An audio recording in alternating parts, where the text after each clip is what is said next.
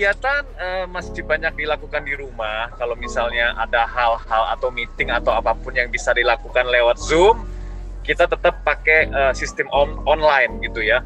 Beberapa urusan kantor juga masih uh, pakai online gitu. Nah, cuman ada beberapa hal yang nggak uh, bisa online, ya udah terpaksa keluar rumah. Kayak sekarang nih saya lagi ada urusan, jadi saya lagi keluar rumah ini lagi di hujan sekarang tuh ya kan Jakarta. nah, tapi tetap uh, walaupun misalnya uh, keluar rumah uh, tetap uh, kita harus uh, pro protokol kesehatannya diperhatikan. Kayak saya tuh saya tuh orangnya taat aturan sekali. Karena begini katanya, begitu keluar rumah harus pakai masker. Walaupun di mobil tetap harus pakai masker.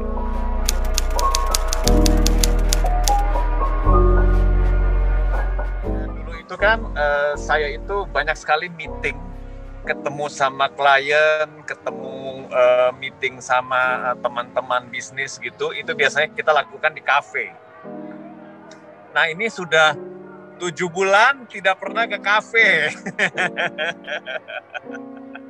Bahkan ke mall aja baru beberapa kali gitu ya.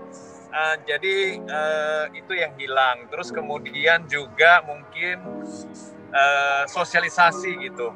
Kalau dulu kan sering sekali ada acara ini, acara itu, kita kita offline, kita datang gitu. Kalau sekarang udah nggak ada. Uh, semua orang sekarang bahkan bikin acara juga melalui online gitu. Kalau katanya sih penyelenggara acara sekarang lebih irit, nggak usah nyiapin makanan. ya itu dia sih. Yang kurang itu terus kemudian uh, ya ketemu sama keluarga juga apa saudara-saudara saya juga mungkin sudah agak berkurang. Sama kakak saya aja saya udah lama nih udah tiga bulan nggak ketemu gitu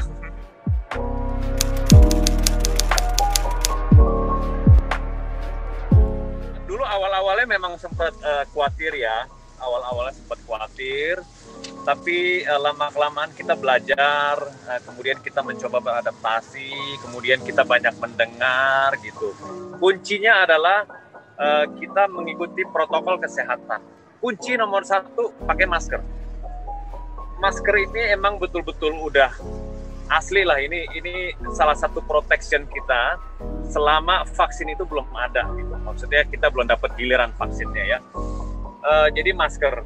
Kemudian uh, uh, memberi jarak antara kita dengan teman kita. Uh, terus kemudian tidak bersentuhan. Kemudian uh, gaya hidup uh, sehat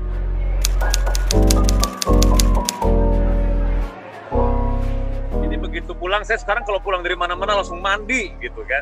Kalau dulu suka males mandi ya ngobrol dulu lah makan dulu di meja makan atau apa. Sekarang mau sayurnya enak kayak apa di meja makan udah siap pasti ntar gue mandi dulu gitu. Iya begitu uh, terjadi pandemi uh, begitu keluar rumah kita pasti langsung mandi ya. Terus kemudian kalau saya kan kebetulan uh, apa namanya walking closetnya kan tempat sepatu saya itu di kamar ya kan sekarang sepatu saya berantakan di bawah kalau saya habis pakai pergi saya nggak berani bawa ke dalam kamar saya taruh di luar gitu jadinya di luar tuh banyak sepatu berceceran.